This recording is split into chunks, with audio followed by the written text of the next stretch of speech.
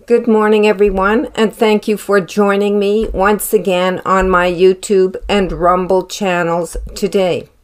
Today is June the 1st of 2023, and I'd like to share another encouraging word with you from the Lord today.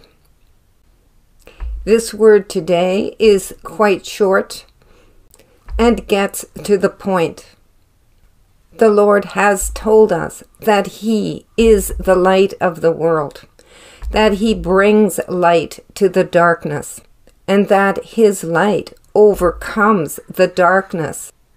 We are living in a very dark world in these days. And even as the Church of Jesus Christ, we can feel overwhelmed and defeated. But the Lord would want to encourage us that His light is in us. And it is His light in us that will push darkness away from us and that will radiate outwards to others. I hope this word will bless you. It is titled Radiating the Light of Christ. I'll begin by reading scripture. John 8, verse 12. Then Jesus again spoke to them, saying, I am the light of the world. He who follows me will not walk in darkness, but will have the light of life. In this scripture, the Lord is telling us about the darkness that people walk in apart from Him. But when we choose to follow Him, we receive His light that gives life within us.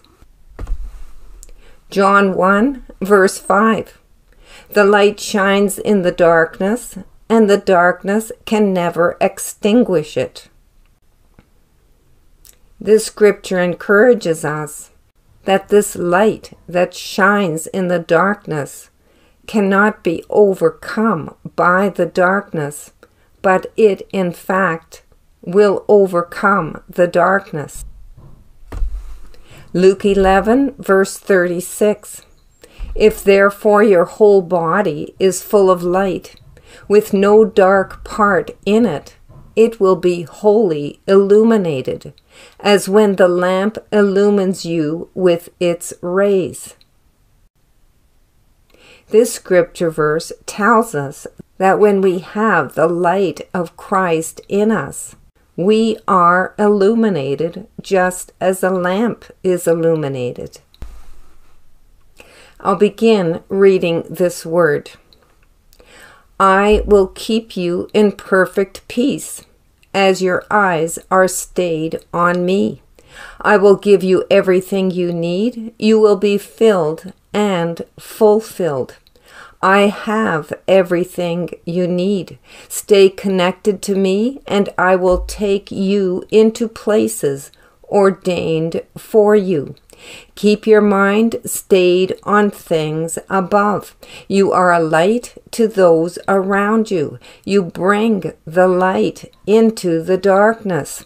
I will place you into places of grave darkness, and you will radiate the light of Christ to a hurting and dying generation. I will take you into these places. I will move you by the power of my love. I will look after every detail, says the Lord. I am releasing you into the fullness and you shall burst forth with song and adoration unto the Lord. I am putting you together with those like minded. Your hearts will beat in one accord with the purposes of the Lord.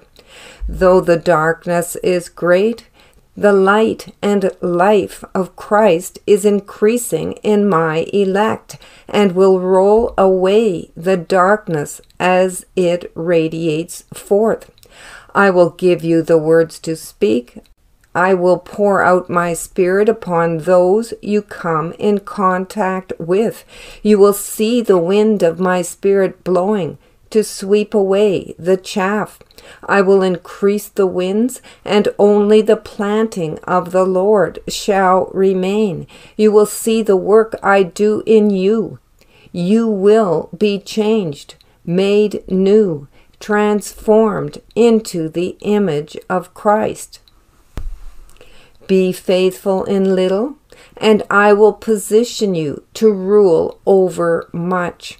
I will cause increase in your life, much fruit of the harvest to be taken into the barns. I am moving swiftly, and I will lift you up and move you out. You will see how easily you are transported from place to place without great effort on your part. I will open the doors and make the way straight. Be faithful, set your eyes on me. You will not be disappointed, says the Lord. As I mentioned, this word today is quite short. And the message the Lord is giving to us is that though there is great darkness all around us, He has put His light within us, and we are illuminating His light to others. It is radiating from us. Others can see it, though we ourselves are unaware of it. And it is because of this light the Lord has put in us that the harvest is able to come in. Those who are in darkness are seeing the light and they are being drawn by the light. The Lord is telling us in this word today that He will use us. He will take us into places of grave darkness and radiate His light through us so that those in darkness would be saved. The Lord is telling us this is not a difficult calling upon our lives. It is not a task that we have to undergo, but it is His work through us. As every bit of darkness is removed from our lives, the light of Christ can fully fill us and shine through us. And doors will open before us to make the way straight. This word today is reminding us that we bring the light of Christ into the darkness in this world. I hope this word today encourages you that the light of Christ is shining through you and you are impacting those around you and pushing back the darkness. Thank the Lord that it is His light that shines through us, bringing hope to a hurting and dying generation that is encompassed by the darkness of the day.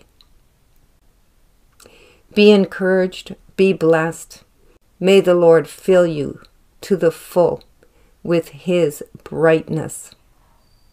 Thank you for listening today. Have a great afternoon and we'll talk to you again in the next video. Love and blessings to you all in the name of Jesus. Bye for now.